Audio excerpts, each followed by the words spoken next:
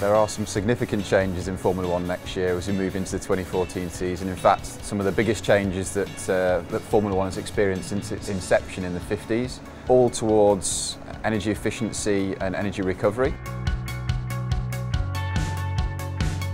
Next year we'll have a very big change in the regulation from a 2.4 liter naturally aspirated engine uh, V8 to a 1.6 liter turbocharged engine with a much, much bigger KERS, around 160 horsepower, that will be able to push the car for up to 30 seconds if you have energy in your battery. Today a KERS system gives an advantage, an advantage of 3 times, 3 to 4 times per lap. Will be close to the 3 seconds per lap next season, so it's really 10 times more powerful.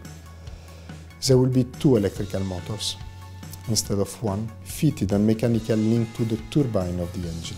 The turbine which is moved by the exhausts of the engine itself. So what will happen is that we'll use all the energy of the exhausts for the turbine to compress the air of the engine, but as well try to generate electrical power through an electrical motor which will charge uh, the, the, batteries. This is a completely different way of handling uh, the engine because uh, you have to recover energy if you want to be faster. There's a couple of areas where Shell can contribute to performance for the ERS system. Firstly is we supply the cooling fluid for the battery and it's vital that parts of the system are cooled sufficiently and we only have to put in a small amount of cooling fluid because every, every additional milliliter of fluid that we put onto the car is weight. Shell is our partner since many years and we are collaborating very well with them and uh, the fuel is becoming really very important for the performance of the engine. Alongside all the massive changes around the engine hardware for 2014, there's the, the limitation on fuel payload, so only 100 kilograms will be allowed to be fueled in the cars for the whole race. So it means that here the objective will be to reduce more than 30% fuel consumption compared to what we are doing today.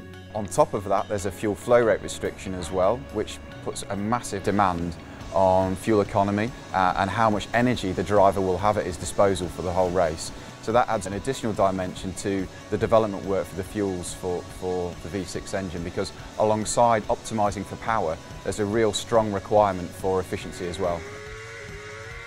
The lubricant can help improve the power and efficiency of the engine by reducing the losses inside it. Wherever the lubricant is protecting and keeping surfaces apart.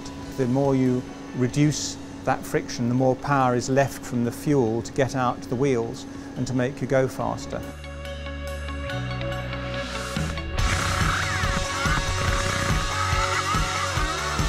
Reliability is playing a key role. Each driver will have only 5 power units for the complete season, making engine life almost double what we are doing right now. If you did lose an engine before the end of its life, the impact on the total season uh, for the driver is much more severe. So therefore, reliability and protection of the engine is much more important.